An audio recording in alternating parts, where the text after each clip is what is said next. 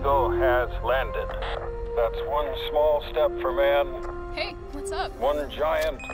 Uh, Houston, we have a situation.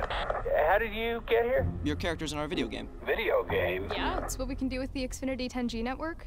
Basically, the greatest achievement since the moon landing. Think they're talking about us? I know. You can play from anywhere now. Yeah, I'm in the basement. I'm at the dentist. Check this out. It's super smooth, even when everyone's online. Oh, can I try that? Mm, you're in the game? What the heck is that? Those are the bad guys. Are they friendly? Nope. Okay, here's the plan. On the ship, there's some wire cutters, some tubing, and rubber bands. Now, with our know-how and some elbow grease and a little bit of luck, I... You're probably gonna want to start running. The next generation 10G network, only from Xfinity, one giant leap for mankind.